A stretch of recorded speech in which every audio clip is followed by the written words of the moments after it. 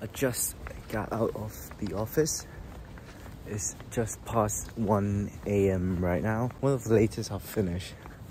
Um, so far, six months into seven, six months into my job. It's funny how if you finish around like nine, then you'll feel really rushed to go home. Anything from like 10 p.m. onwards, like just doesn't really matter because you know whether you finish at 10, 11, 12, or 1, the only thing you're gonna do is just to get some sleep. Whereas if you finish at like 9, you can technically still like do some stuff once you get home. But now I'm just walking home, gonna get some good sleep. Tomorrow's Friday, gonna work from home probably. Hopefully gonna be more chill, but we shall see. Some days I can't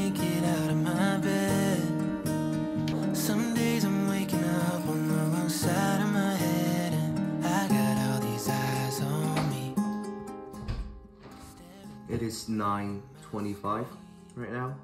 I have my morning meeting in 5 minutes, 9.30. Woke up at 9 today, feeling okay actually. Maybe because it's Friday. So, how is it like actually being a consultant? As an outsider, consulting can often feel mysterious. You don't really know what they actually do, but they sound really cool. Does the reality live up to the hype? I've been working as a consultant for just over half a year now, and I think I have a pretty decent idea to that question. But first, let's get into the office. Let's break it down into three buckets. First of all, work life balance. Secondly, exit opportunities.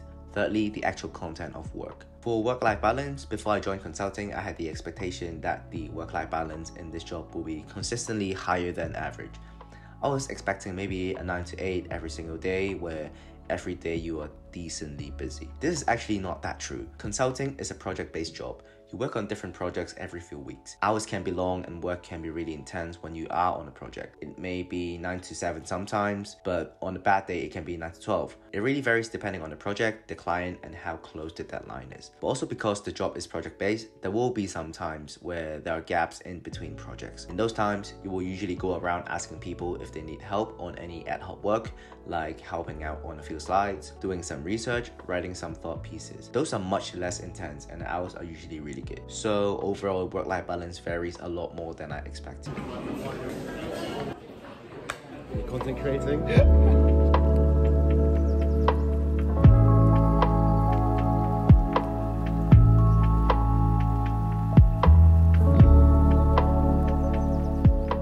When we're talking about exit opportunities, it means the kind of job and career path they can go down after doing consulting. One reason why people go into consulting is exactly because of that. And I'm not going to lie and say that I came here expecting to stay forever. I'm still young, I'm still figuring it out. But one expectation I had was that by doing consulting, it will open doors to more exciting opportunities. And that does seem to be the case. In the last few months, I've seen colleagues leave to all kinds of places private equity, venture capital, startups, or even big tech like TikTok. So this reputation does seem to live up to its name.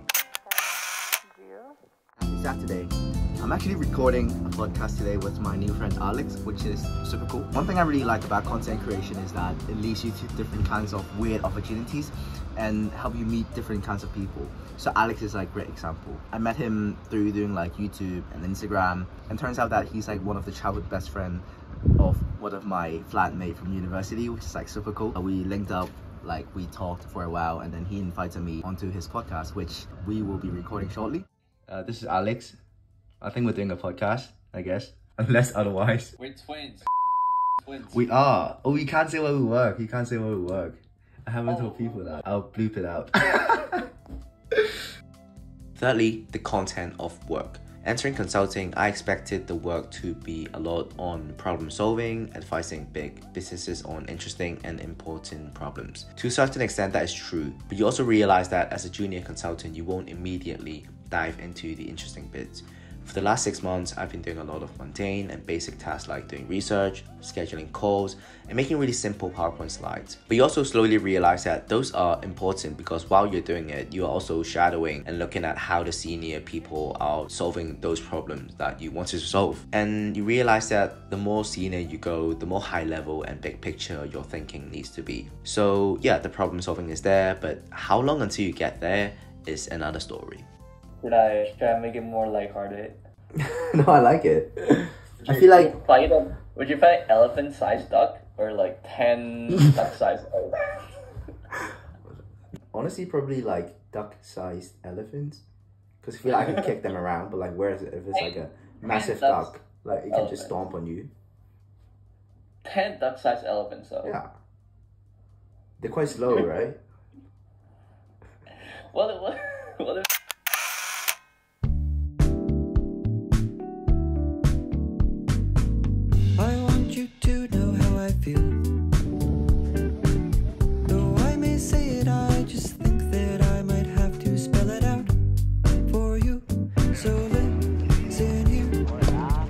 We're spontaneously playing tennis right now because apparently no one booked the court next to our flat. We saw it. I haven't played tennis in like five years. More than that actually, like probably like 10. So I'm pretty shit. I want to start taking lessons again. But um, I literally don't have time because of my job. The only time I can play is on the weekends. But then the weekend often I want to do other stuff like play football. So yeah, I haven't really had the time to play tennis, but like I really want to pick it up again and learn it because it, it sounds like something quite fun. We haven't known each other. Well, Jason, you're filming my feet Okay, not on your feet. for free. Please film uh, fucking mirror or something. Censor it. Censor For the feet. OnlyFans link on it. feet. Yeah, but like soon, Not yet. It will happen. soon hopefully.